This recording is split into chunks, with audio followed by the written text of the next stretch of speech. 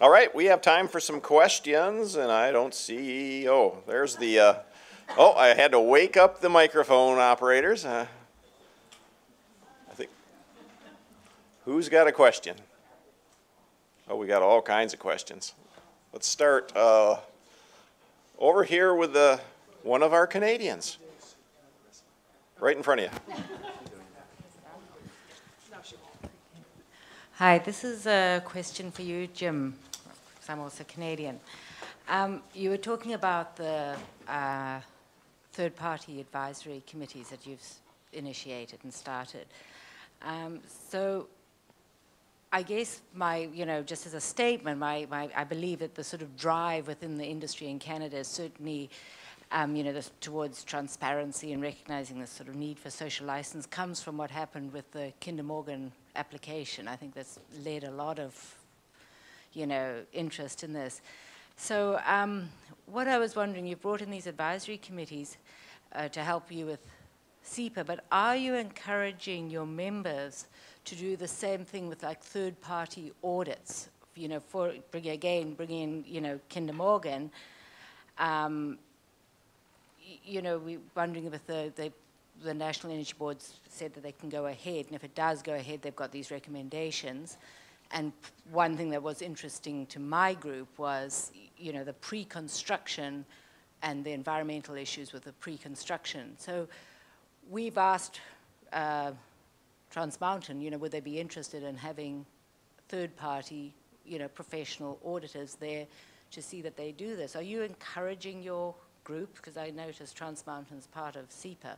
So are you encouraging them to do that?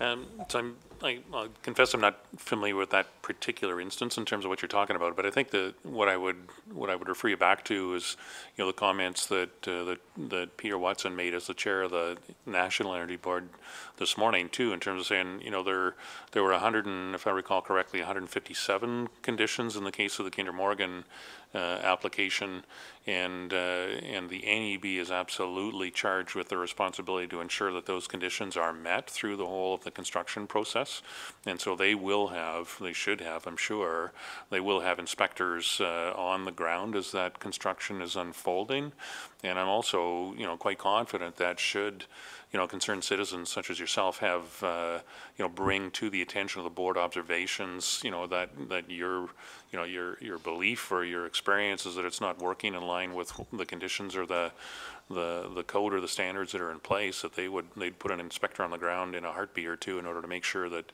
that that's responded to. Um, the the third party that we're using is primarily around, excuse me, the that whole Integrity First program. I, I, didn't you know go into a great detail around it, but uh, it's it's meant to ensure that.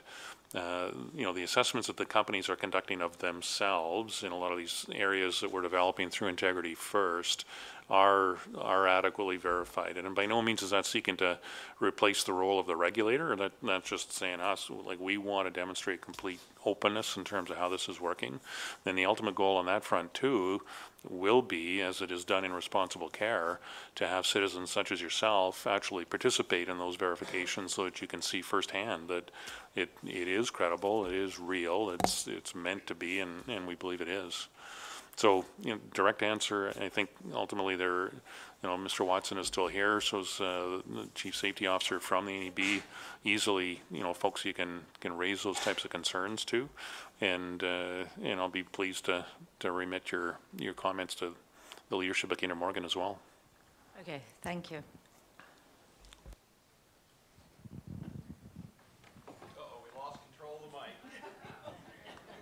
Uh, my question is to Jim, and it's regarding uh, uh, shortly after our May 19th meeting in Calgary with yourselves, the NEB staff and members of the public, an announcement was made by the NEB regarding a joint committee uh, with CEPA. And I wonder if you could explain a little bit of what's happened in the meantime with that.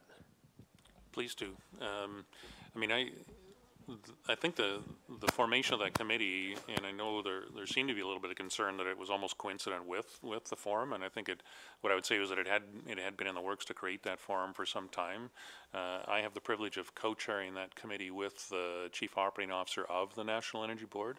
I think it speaks very directly to, uh, to Mr. Watson's uh, desires to see um, like where there are challenges or issues that, that really refer to the uh, like not the application but the life cycle operations of you know the, the companies uh, how do we put in place an opportunity to enhance the collaboration that, that can occur which in no way undermines or fetters the you know the the primacy of the regulator so it, it allows us to come together uh, you know, the sessions at the, uh, there have been two meetings. Uh, there was a, an initial meeting, or the exact date escapes me, I want to say July roughly of 2016. Uh, it was chaired by, by Mr. Watson and by the chair, uh, the CEO of, of CEPA. They sort of set out the, you know, the, the marching orders for the committee, uh, set and, and approved the terms of reference and set out a working agenda for us. And so really it is intended to, to permit that forum within which, you know, industry can collaborate on ongoing operational issues that uh, are completely apart from anything to do with app, an application, which is fully subject to all the, the expectations of natural justice allows us to identify issues, to bring, you know, the knowledge that's resident within the industry, as well as, you know, tremendous knowledge within the, the board itself to bear on these problems and to find ways to move forward. Uh, personal opinion, uh, they could be in, the meetings could be enhanced, uh, you know, in terms of adding greater degrees of openness as well with citizens such as yourselves, because I think there, there's absolutely nothing to hide. I think you'd be encouraged if you ever saw the, the kinds of conversations and the things we're working on. So, uh, and that's really where it's at. And the next meeting is, uh, I think, I believe, just recently been scheduled for the 16th of December in order to close out the year and talk about some of the ongoing actions that we're working towards.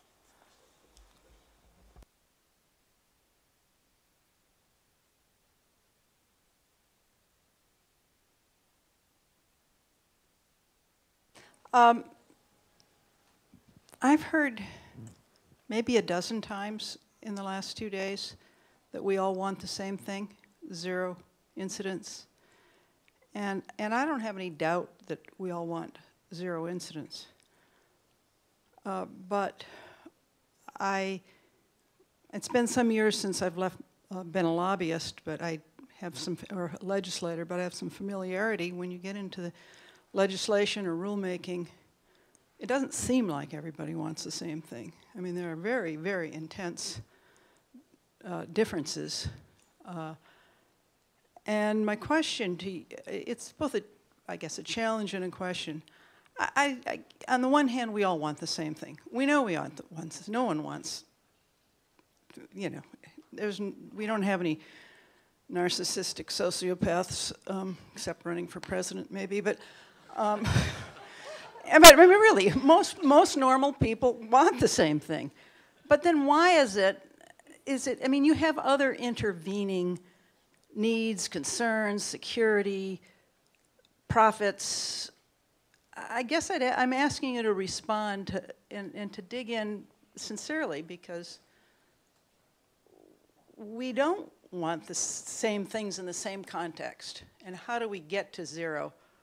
And we have to recognize what our differences are.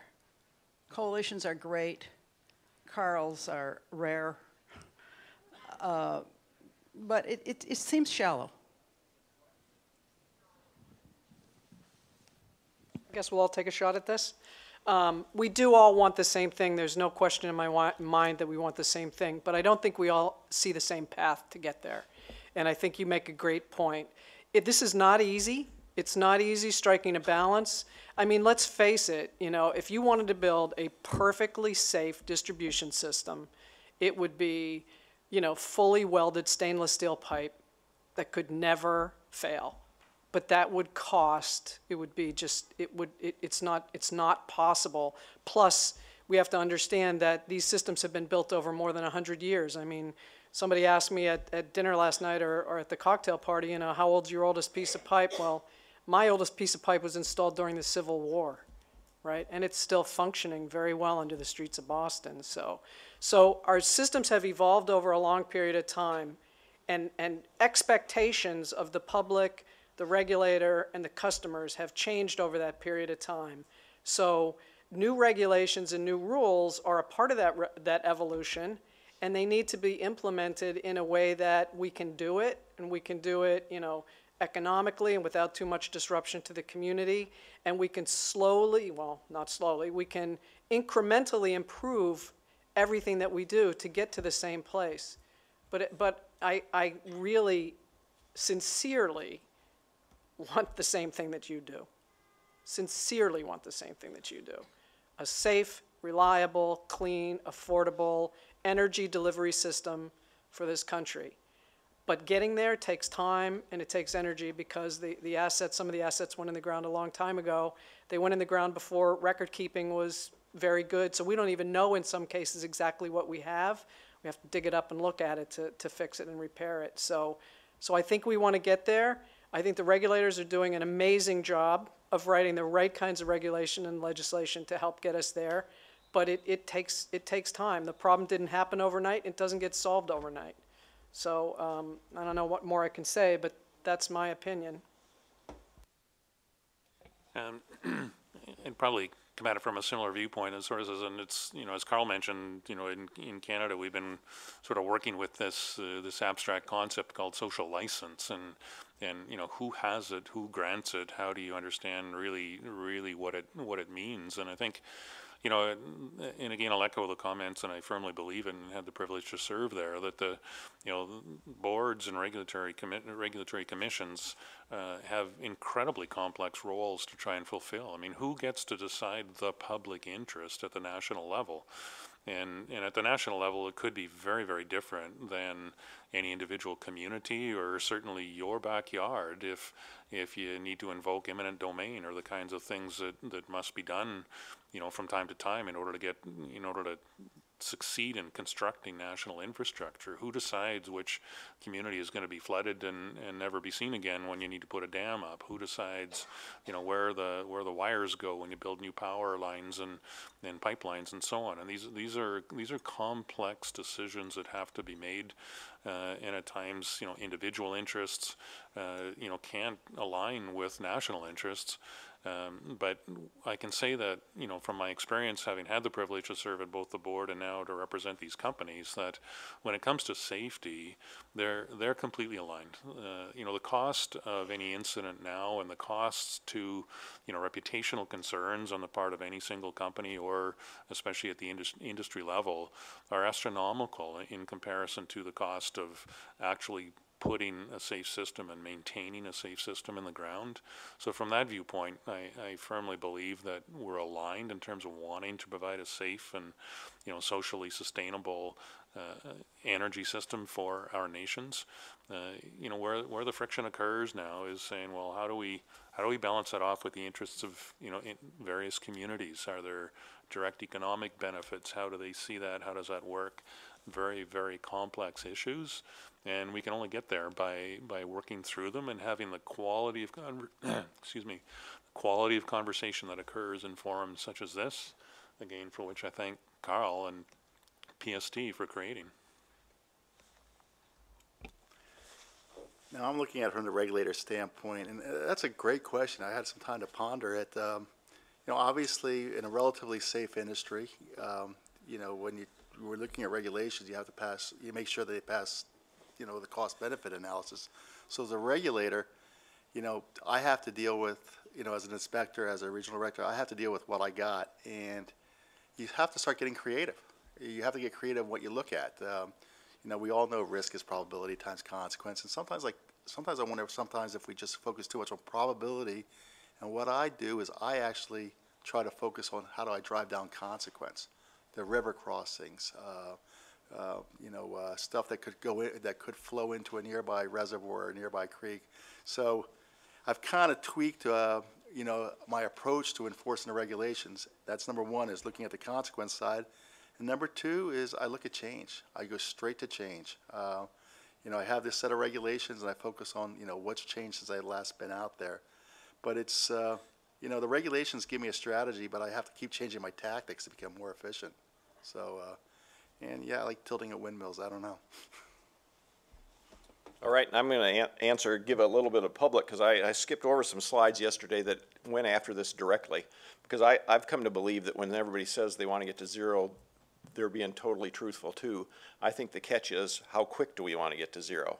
And quickness has to do with how much money we want to spend to get to zero. And we used to have meetings with one of the biggest gas companies around, and uh, somebody that I really respect, one of the heads of one of those companies, and, you know, he was, he said, boy, we're spending billions of dollars to implement integrity management. And I said, but integrity management only applies to seven percent of the pipelines in this country. What about the other ninety-three percent? Well, it's taken all of our effort to do seven percent of the pipelines. And the public views these companies as being richer than God, and they ought to be able to do more than one thing at a time. And the reality is that uh, th- they can't for some of the reasons you just heard. And sometimes it's not even the companies that are in control. Sometimes there's rate regulators that won't let people replace pipelines because they're worried about someone's gas bill going up $2 a month. So there, there's all kinds of blame to go around, and some of it uh, falls on all of our shoulders, I think. But, uh, you know, in our view, it's really, I think everybody wants to get to zero, but how quick do we want to get to zero? And I think that's where we probably vary on who's setting up here. All right. Oh, we still have hands up. How about Mr. Jacoby here?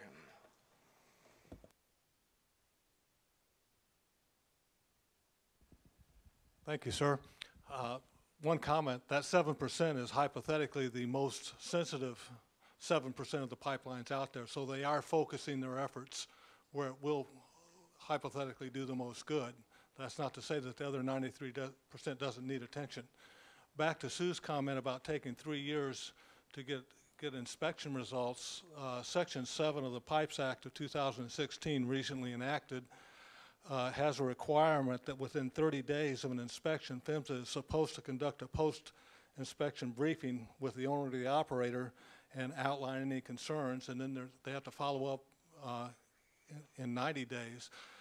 Um, Having said that, uh, I've been involved in a couple of inspections subsequent to that, and it's been more than 30 days, and I haven't heard anything.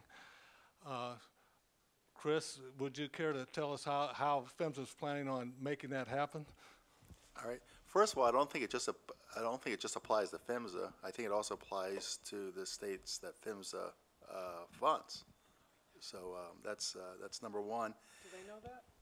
Well, it just got passed a couple months Oh, ago, okay. but yeah, I think they're all, they're waking up. I breathe them at That's gonna be-. It's got, nobody makes it in 30 it's days. gonna be a land shift.